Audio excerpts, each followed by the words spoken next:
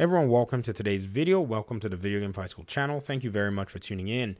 So we're continuing our discussion on Spider-Man, and we're looking forward to Spider-Man 2. And I think there are a few things that I really want to highlight because when I played Spider-Man Miles Morales, it was quite interesting to see how the character and the story arc was really, in my opinion, uh, sped through. Now, yes, this was a very short game, so I guess there probably wasn't enough time for them to be able to do a lot more, like tell his story in a fully fledged way. But at the end of the day, I think they did something that was quite unique. So if you think about it, Miles has already been in the games. You know, he'd already been in the first Spider-Man game 2018. And if you've never played these games, I don't want to really spoil them for you. But spoiler alert, I would say just turn this video off if you don't want any spoilers.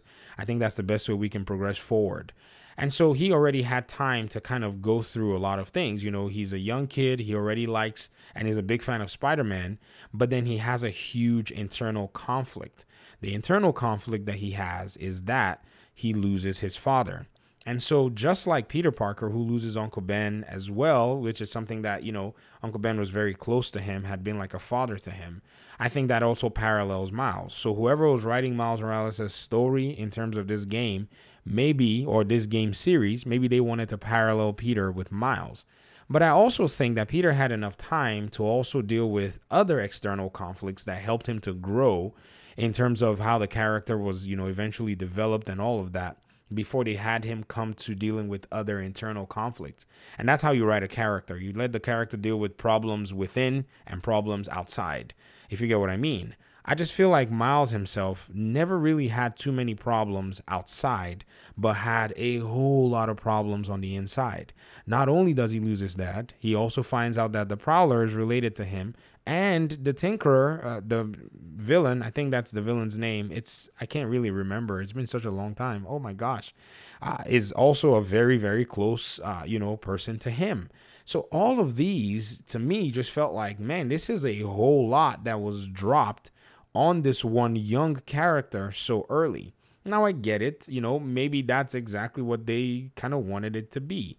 But, you know, I guess again, because it's such a short game, it really missed the opportunity to kind of get the character to develop or, you know, to be able to allow for those other external issues to hit the character so that the character could grow and, in a sense, you know, prove themselves as Spider Man. But nonetheless, they were still able to do a good job by kind of tying the story together. And I just feel like if they really, really want to allow for the next Spider Man game to really flourish, they really need to emphasize more of the external conflict. And I'll say the reason why.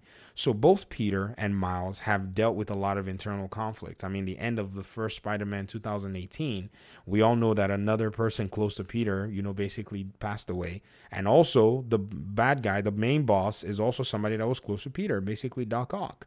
So both characters have already basically, you know, grieved and, uh, you know, felt sadness and felt grief in different ways.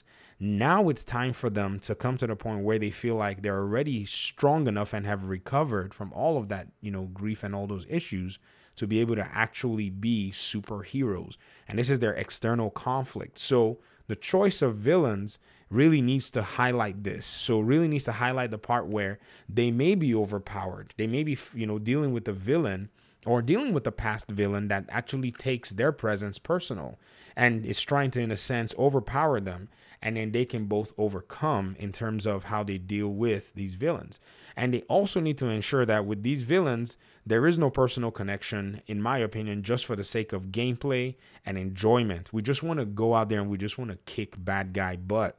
And I think that's something that needs to be highlighted in this next Spider Man game. So I wanted to go ahead and basically highlight this very briefly in this video.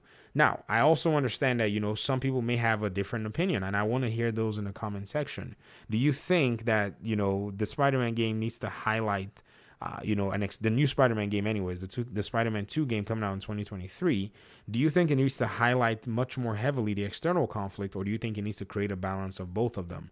I strongly believe that the previous games have already established the internal conflict, and it's time now for the superhero to basically get out there and just start to do their thing. But anyways, I'll go ahead and just stop the video here. I'd love to hear your thoughts in the comment section. Thanks so much for watching the video. I appreciate you guys a lot. Hopefully we'll talk soon. Peace out.